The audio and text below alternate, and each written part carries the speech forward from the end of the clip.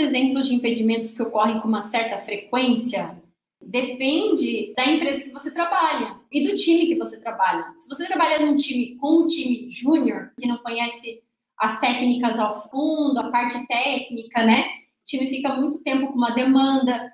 Também isso é bacana identificar na reunião diária, né? Quem é que está muitos dias com uma demanda? Por que, que não concluiu? O que está faltando? Quem é que pode ajudar? Quando o time é júnior, ele vai ter essas dificuldades, né? Várias dúvidas. Outros impedimentos, quando está problema no computador das pessoas, ou quando algum conhecimento específico é feito por outra equipe. Isso também é muito frequente. Não é a tua equipe que vai executar aquela etapa do processo, tem que ir para um outro time para depois voltar.